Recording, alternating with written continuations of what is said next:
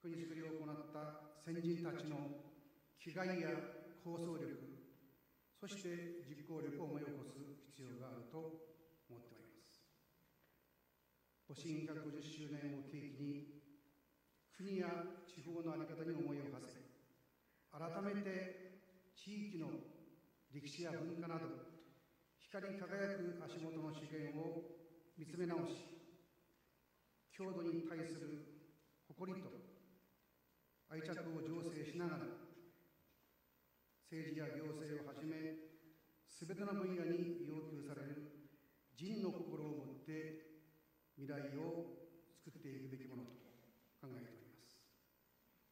結びに戊辰殉難者の御霊が常しえに安らかならんことをお祈り申し上げこれにつき賜りました関係各位のに心から感謝を申し上げ主催者の挨拶といたします。白川が育んでこられた人の心が後世へと受け継がれることを記念しております。白川戊辰戦争150周年殉難者合同慰霊祭を挙行するにあたりご臨席の皆様を代表し殉難者諸子に対し謹んで祭文を奏上いたします。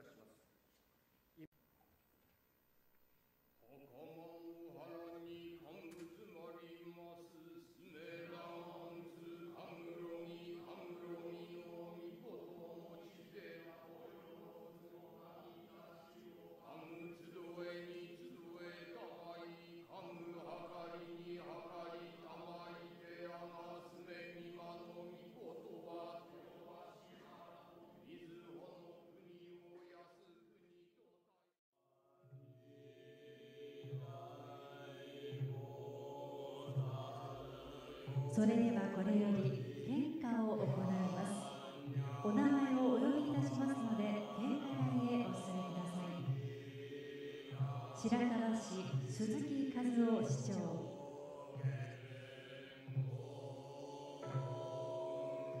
白河戊辰150周年記念事業実行委員会人見光太郎会長。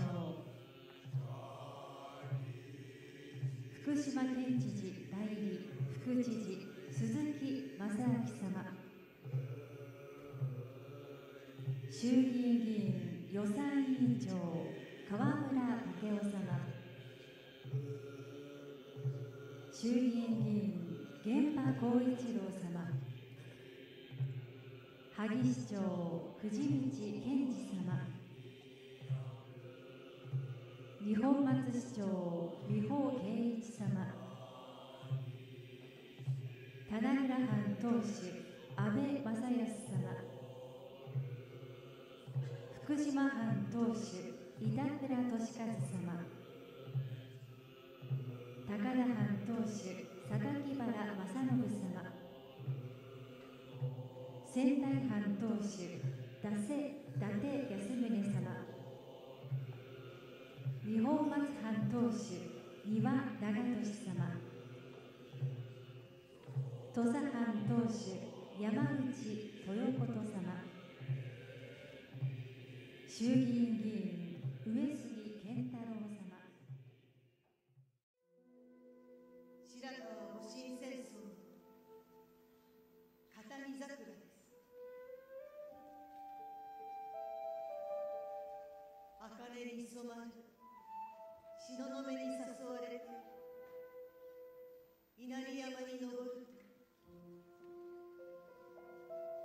戊辰の声